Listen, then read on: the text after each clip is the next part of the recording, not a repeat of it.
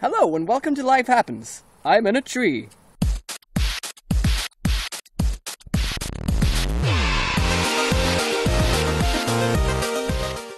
Fantastic thing about science is it changes the way that you look at the world. I used to think about trees sort of from the bottom up, like there's this big cylindrical thing coming out of the ground, and then it has like green things coming out at the top. And then I took biology in high school, and I started seeing trees as living things with a metabolism, and they kind of flipped. So now there's this big green living ball with a long appendage sticking into the ground to gather nutrients. And then I took biology at university, and I realized it's kind of both, that every tree leads two lives. One life above ground, where competition is mainly for space and sunlight, and one life below ground, where you compete for phosphorus and nitrogen and water. And these two completely different systems, both immensely complex and dynamic and sensitive in their own right, are connected by this massive vertical transportation highway called the trunk. So basically, you end up with something a bit like this.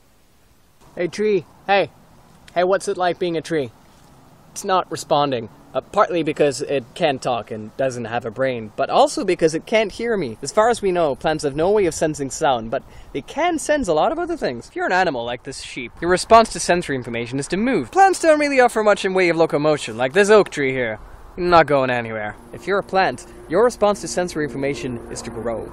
Plants can sense gravity, so they know to grow upwards. They can sense light. In fact, the tip of each growing shoot is built like a simple eye. They can tell where the sunlight is coming from and grow towards it. And they can kind of taste the soil. Their root tips are like sensitive little sniffing fingers that not only detect nutrients and grow towards them, but can sense other roots from the chemicals they put out. And it can actually tell whether the roots belong to the same tree, or to another tree of the same species, or a different species altogether. By the way, if you're a tree and you encounter roots of another species, the best response is often to grow lots in that space, to try and compete for the nutrients there. But if you encounter a relative, it's often best to invest your resources elsewhere. It's usually much tougher to compete with your own species, because you need the exact same stuff, and you use the exact same method methods to get that stuff. Here are some other reasons why I love trees. I love trees because they're huge. They're the biggest living things on the planet, depending on how you measure and whether you only count living tissue and depending on what counts as a single organism, but that's a different story. They're certainly among the oldest things. Some of them are thousands of years old. This bad boy here? Probably a couple hundred years.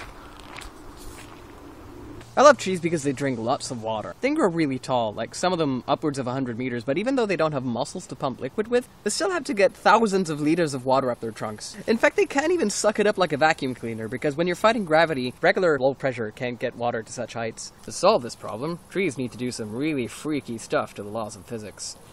Every second, as the tree breathes, water molecules drift gently out of the leaves, evaporated by the sun. But water is cohesive. The water molecules are all loosely connected to one another, so as molecules go missing at the top and new ones move in to fill the gap, they tug gently on the ones below them. This crazy serial tug of war, called transpiration pull, causes water to drift slowly upwards against gravity. This is one of few examples in nature of so-called negative pressure, which is powerful but brittle. Water doesn't like being dragged along. The weak bonds between the water molecules are constantly in danger of being pulled apart, causing the water to become gas. To prevent the whole water column from vaporizing, plants have little grills set into the water channels to contain any gas bubbles that form. Even when localized, this vaporization is pretty intense. If you're walking in a forest in the spring when the water flow is at its strongest and you hear a snapping sound, that's the sound of trees tearing water apart. I love trees because they're weird. More than half of a tree consists of water, but it's not the same water from day to day. It's constantly entering the roots and leaving the leaves. A tree is like a slow, vertical river. Out of the part of the tree that isn't water, about half is nitrogen and phosphorus and other minerals that the roots have collected from the soil. The remaining half is carbon, which the leaves have collected from the air. Sitting in a tree, you can easily fool yourself that it's simply a feature of the landscape, but it's a living, breathing thing that built itself out of rain and dirt and air. A tree is an in-between, as much a part of the atmosphere as a part of the ground. I love trees.